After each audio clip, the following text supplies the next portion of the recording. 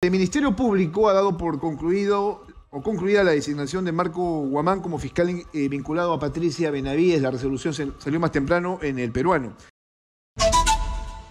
Vamos de inmediato a las tres noticias más importantes hasta este momento aquí en Exitosa que tenemos que destacar en función a nuestros titulares. La primera noticia tiene que ver con el reinicio del juicio oral público seguido contra eh, Keiko Fujimori. Ayer el fiscal José Domingo Pérez eh, se sintió muy incómodo y pues pidió una sanción para dos abogados. ¿Qué dice la nota? El Poder Judicial resolvió no emitir sanciones contra Juliana Loza y Humberto Abanto por haber realizado presuntos gestos obscenos en contra del fiscal José Domingo Pérez durante la audiencia de juicio oral por el caso Cócteles o Cócteles. Bueno, ah, eh, ¿escuchamos la resolución? ¿Tienes el byte o no? Bien, pasamos a la siguiente nota entonces a esta hora de la mañana del juicio. Todavía continúa. ¿ah? Todavía hay exposición del fiscal José Domingo Pérez, esto termina ya y luego vienen los demás implicados en el caso, sobre todo las defensas. Bien, vamos a, la región Junín, se ha iniciado un paro indefinido, están muy molestos con el gobierno central.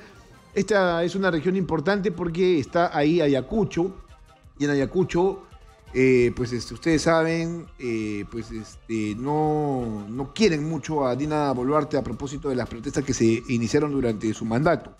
Pobladores de la provincia de Junín iniciaron hoy un paro indefinido en contra del gobierno y reclama la ejecución de obras para esta jurisdicción. Ello en el marco del bicentenario de la batalla de Junín. Piden más presupuesto, mejoras laborales, infraestructura, salud, educación, entre otras cosas más.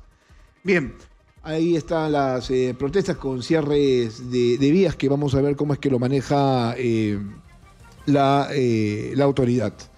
Eh, la tercera noticia a esta hora de la mañana.